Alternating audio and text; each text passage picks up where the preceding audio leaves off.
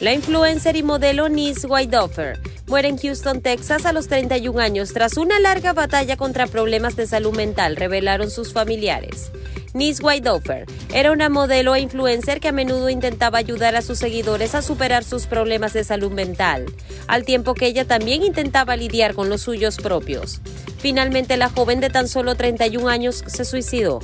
Lamentablemente, Nis se quitó la vida después de una larga batalla con problemas de salud, dijo la familia Nis a TMC. Ella fue muy abierta con sus seguidores sobre sus luchas, incluso queriendo ayudar a los seguidores que también sufrieron. Los familiares tienen previsto fundar una organización sin fines de lucros en honor a la celebridad. Le llamarán Peace from Nis y funcionará con la finalidad de crear conciencia sobre la salud mental e incluso esperan poder financiar la investigación de enfermedades mentales.